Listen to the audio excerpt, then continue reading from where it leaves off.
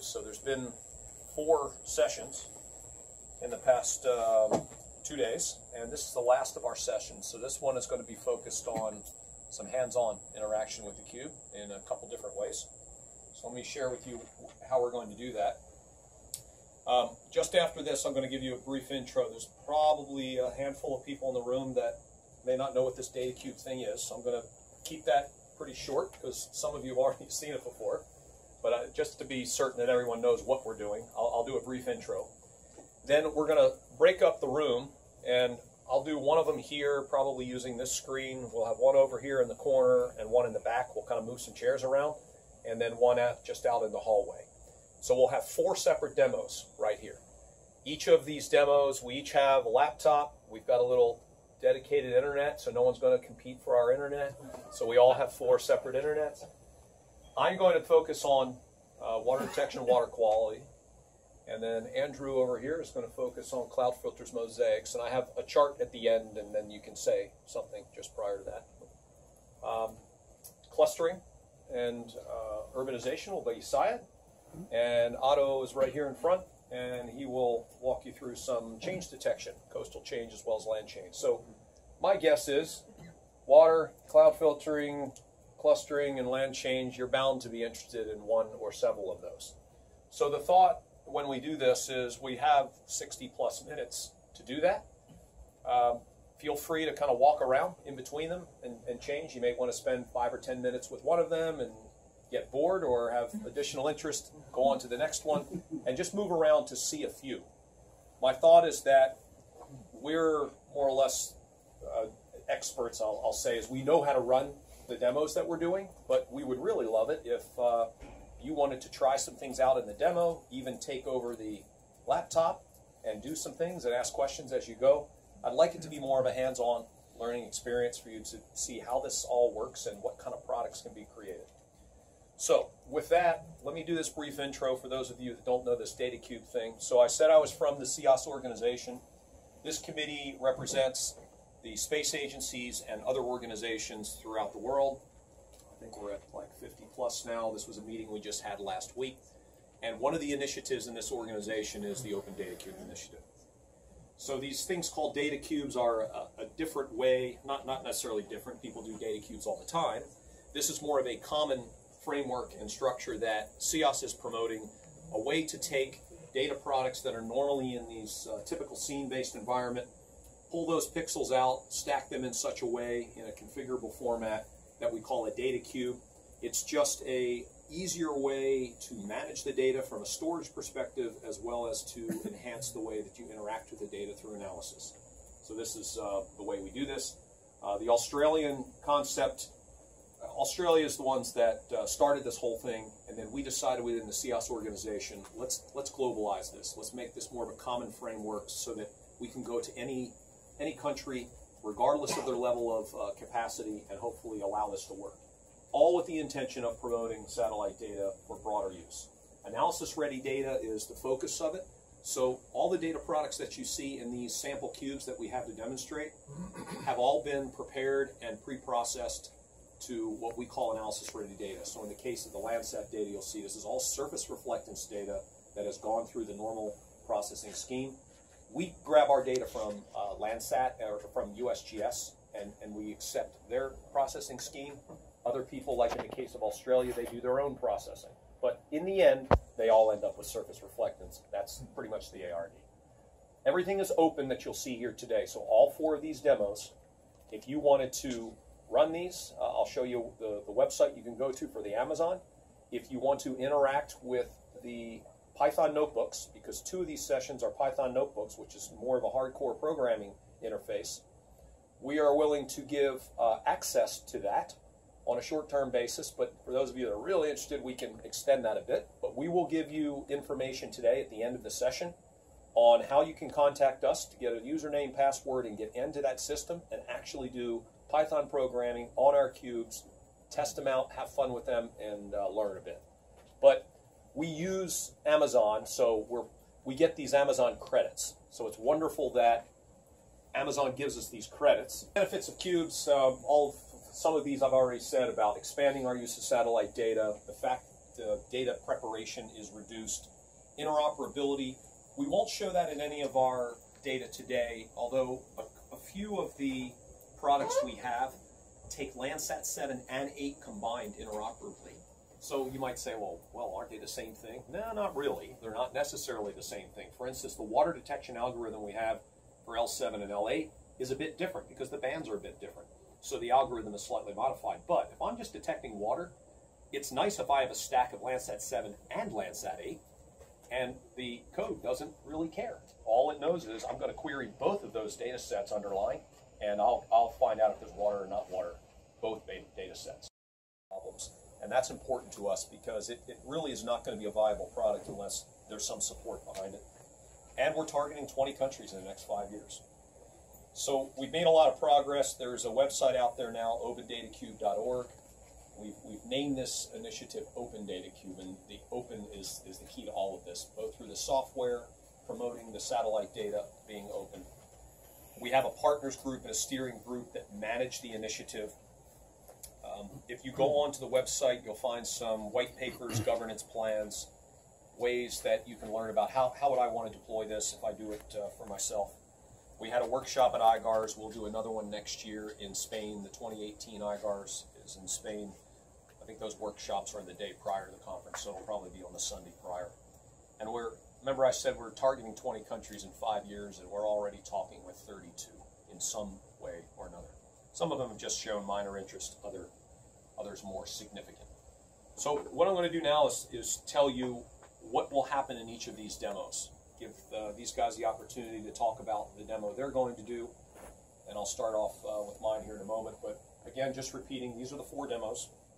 So the first one you're going to see, uh, the first two of them are going to concentrate on using this Amazon Web Interface uh, on this AWS. This is the URL. We can give this to you later, but if you just remember tinyurl datacube UI, that'll get you there.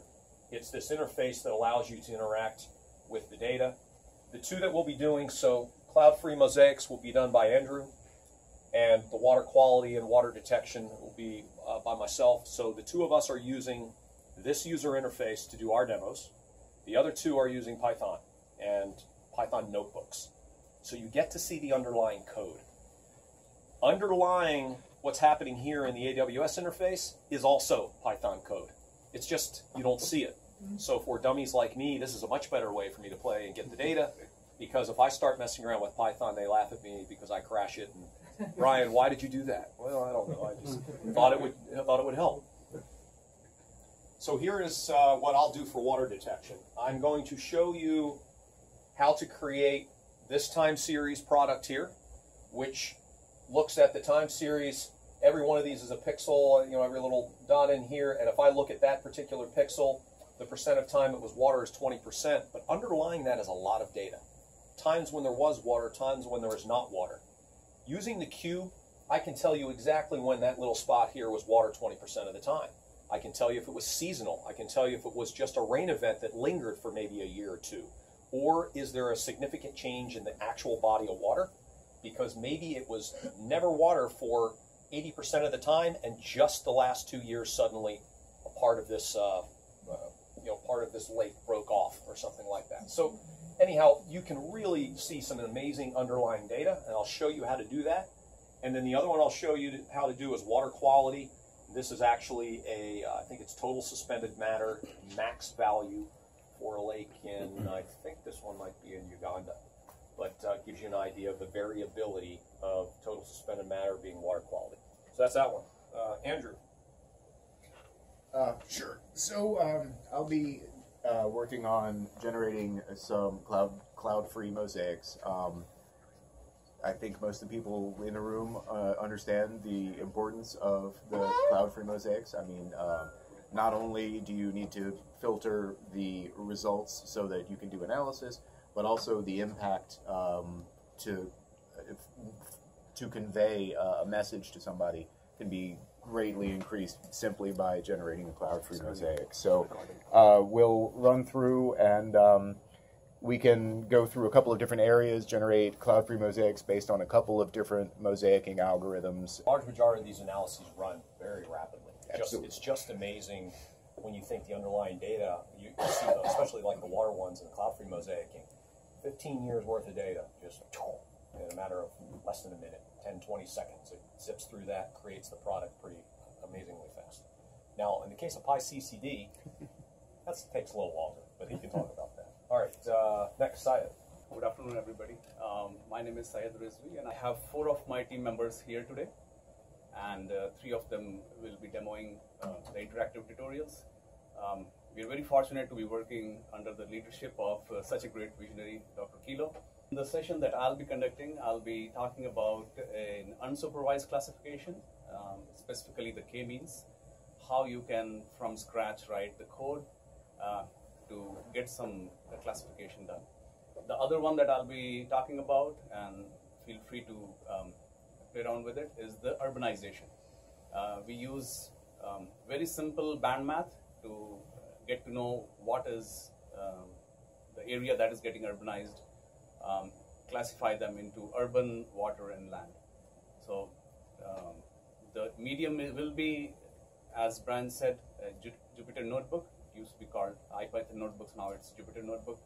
Um, once you install that and you know how to do the hello data cube, in my opinion, it's pretty simple. Uh, there are some things that become complicated as you go in the sophisticated uh, algorithms, but otherwise, for the very basic NDVI, NDWI, urbanization, uh, k-means, it's just a matter of calling a function from a library that you would import. So I look forward to uh, meeting you and working with you. Thank you the underlying code for many of these algorithms is really not many lines of code because it's calling so many other libraries and you don't really need to know uh, you know all the code behind the libraries it takes a limited amount of code to create some amazing products and it's really fantastic what you can do so not a significant amount of code knowledge now if you were to maybe be the person writing the library that yeah. might take quite a bit more but actually using the library and just uh, doing the normal MATLAB type functions or, or data analysis functions, really tremendous. All right, next is uh, Otto. My name is Otto. I'm a software developer at AMA. Um, I support Brian Killough. And my day-to-day involves implementing modern Earth observation research on the data cube. I'll be talking about change detection specifically. Uh, the world would be a very, very interesting place if nothing changed ever. So we'll be focusing on how coasts change specifically, and I'll be showcasing a uh, an area in Vietnam, and we'll be looking at deforestation, urbanization trends, uh, roads being built. Uh, we'll see all of those being detected by this algorithm. We'll now um, split up into these little segments. It's going to take a, a moment for us to kind of rearrange chairs a bit.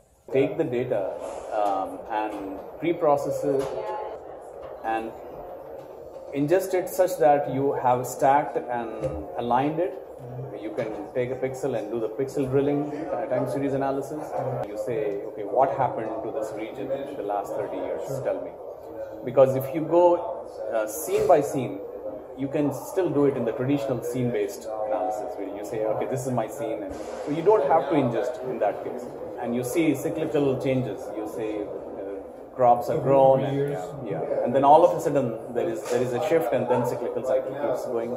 And if you investigate you find out that there was a drought or so, something happened. Pixel and that pixel changed twice. And those areas here changed one time.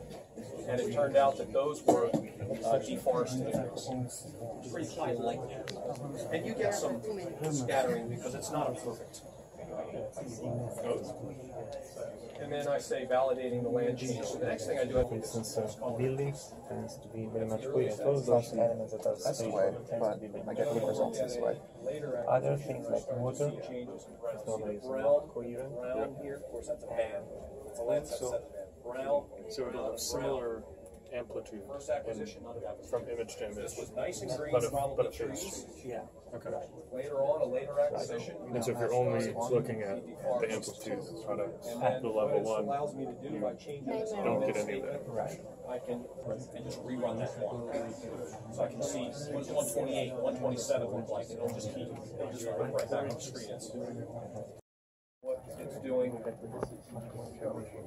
I picked that little spot right on the tip there. I processed it, and the last thing I do is from that one specific lat lon, show me what the bands look like. Remember I said the one that changes the most is the SWIR? SWIR one, and this is where the, the break occurred. so there was one along the cycle, this is the, uh, cyclical variation. So there's a break, and now there's new equilibrium. So the code thinks through its analysis that land change right here. But notice, you get a lot of strange, erroneous, you know, outliers. You look at the red band, it's a lot harder to tell. So you can see this one square, and then that's it. That was the last code block. So this Python notebook is probably the most complex one we have running change detection PyCCD. But it's really nice because I can run a bunch of cases. I can load in different cubes. I can analyze and so forth. Are we ready? Are we getting? That's all right. Any other questions on this? Good.